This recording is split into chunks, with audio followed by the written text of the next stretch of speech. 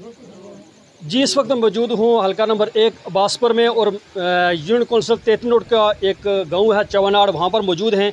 और मेरे साथ इस वक्त हल्का नंबर एक बासपुर से तहरीक इंसाफ के नामजद उम्मीदवार असम्बली सरदार अब्दुल कयूम न्याजी साहब हैं और उसके अलावा सबक उम्मीदवार असम्बली मलक मोहम्मद अफसर साहब और अलहाज मलक हफीज़ साहब, ज़ुबैर साहब मौजूद हैं।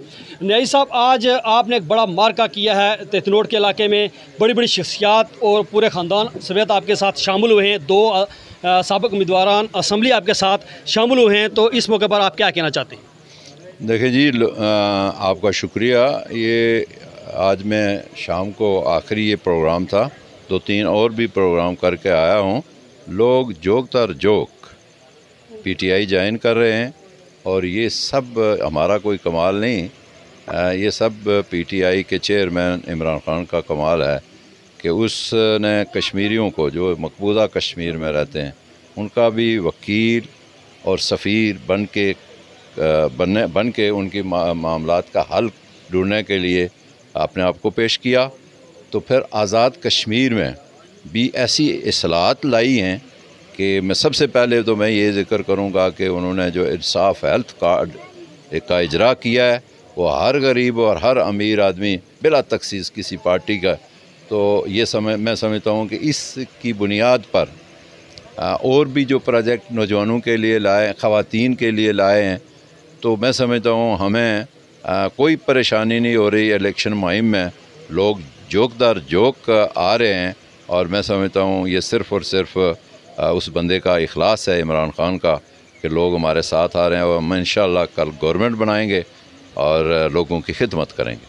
अब्दुल हफीज़ साहब, आप सबक उम्मीदवार असम्बली भी हैं और आपका एक सियासी गिराना है।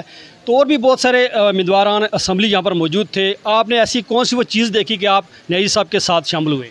बिसमिल्ल सबसे पहले मैं जे के टी वी का जुल्फ़ार साहब का शुक्रिया अदा करता हूँ कि ये बार्डर से हमारी आवाज़ मुख्तलिफ़ ममालिक में, मुख्तलिफ़ इलाकों में पहुँच रही है। तो पी टी आई में हम इसलिए शामिल हो रहे हैं, एक तो इन्होंने गरीबों, मस्किनों के लिए सेहत कार्ड जारी किया है, उससे सारी आवाम, चाहे वो किसी जमात से भी उससे मुस्तफ़ हो रहा है। दूसरा ये सोम सात के पाबंद भी है। तीसरा यह है कि इनमें बरदरी तसब नहीं है। ये तमाम बरदरीों का एक गुलदस्ता है। इन तमाम बरदियाँ मिलकर इनको हम असम्बली में पहुँचाएँगे। हमारे जितने भी छोटे मोटे काम है ये करेंगे। वमाल ज़ुबैर साहब आपके घर में यहाँ पर बड़ा प्रोग्राम हुआ है इस वाले से आप क्या कहना चाहते हैं? जी आपने ये जो पहले आजी साहब से सवाल किया था पहले तो मैं बताऊँ चूँकि मैं भी आज ही मैंने भी पी टी आई समझ लें ज्वाइन की है इससे पहले हमारा तलक मुस्लिम कॉन्फ्रेंस के साथ था। तो बात यह है कि न्याजी साहब के साथ हमारा बड़ा पुराना तल्लक है लेकिन मैं जो जिस बात ने मुझे सबसे ज़्यादा मुतासर किया वो ये बात थी कि 2006 में जब न्याजी साहब इलेक्शन जीते थे तो उस वक्त हमने इन्हें वोट नहीं दिए थे।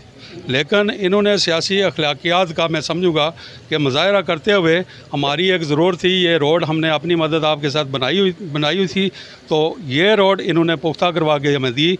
तो उस चीज़ का हमने बहुत असर कबूल किया था और आज अल्लाह के फजल से उस, उसके बाद से 2011 में भी इनका साथ दिया 2016 में भी साथ दिया और अब भी हम इनके साथ पीटीआई में चले आए। जी, इनका यह कहना था कि पाकिस्तान तहरीक इंसाफ को एक तरफ़ रखे और हमने जो ये शख्सियत हैं सरदार अब्दुल कजूम खान न्याजी, उनकी जो क्वालिटी है, उनको देखकर हम अपनी फैमिली के हमरा इनके काफ़िले का हिस्सा बने हैं और हम ये यकीन दिलाते हैं कि इस मरतबा जो है, हमारा जो वोट की पर्ची है, वो अब्दुल कजूम खान न्याजी के हक में जाएगी और ये अपना वो इस्तेमाल हक को इस्तेमाल करके इनको हम असम्बली में भेजेंगे और असम्बली में पहुँच ये हमारे मसाइल हल करेंगे। जी।